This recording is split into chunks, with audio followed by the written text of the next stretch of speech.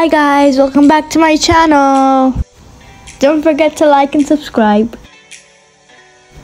So I was going outside to uh, enroll in a language course, so I decided to uh, make a video with it too.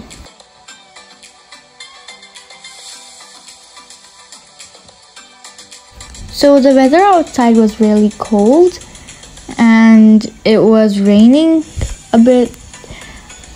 I felt really cold. So every time you move to a European country, like uh, Europe has a lot of languages, so whatever country you move to has its own unique language. So it's a really big language barrier.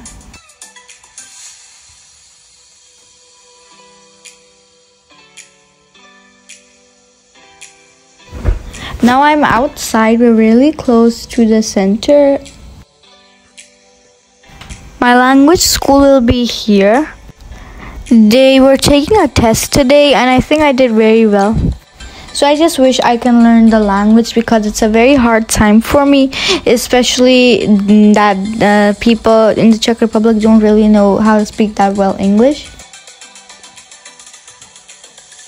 So I'm coming back and by now it was around 5 o'clock. My mom made this video while we were waiting. And this area is very beautiful. Prague is a very beautiful city and it's a tourist uh, like uh, it has many tourist attractions especially Charles Bridge so I've been to all of them and I'll be showing you uh, the, the tourist attractions in future videos. So now we were like really hungry because it was around like 5 o'clock and we still didn't have any lunch.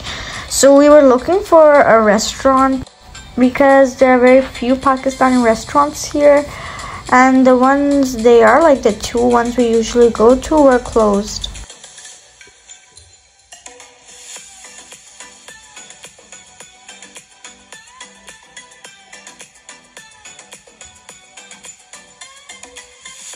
So while we were like going to our restaurant, I saw this beautiful building and it was unusual for it to be in the like in a corner somewhere because usually they would have many people. So this is like the big lake of Prague. Its name is Vltava and it's like uh, on this river is the Charles Bridge.